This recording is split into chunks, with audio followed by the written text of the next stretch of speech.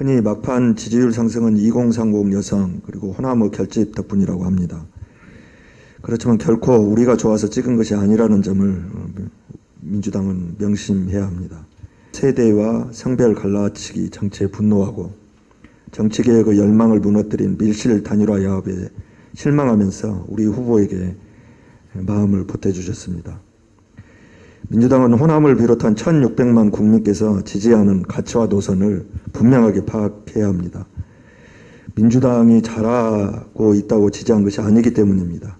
국민이 무엇을 요구하고 있는지 제대로 알아야 합니다.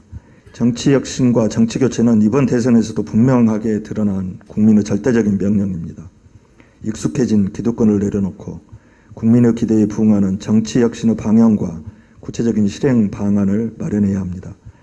172석 제1당의 유능함을 보여줘야 합니다. 대통령 결선 투표제 도입과 기초의회 중대선거구제 획정, 다당제를 도입하기 위한 선거제도 개혁을 신속히 논의하고 처리해야 합니다. 말로만 약속하는 정치는 끝났습니다. 이제는 행동해야 할 때입니다. 그것이 이번 대선에서 말하는 국민의 명령입니다. 대한민국의 더 나은 미래를 위해 더불어민주당은 흔들림 없이 국민과 함께 나아가야 합니다.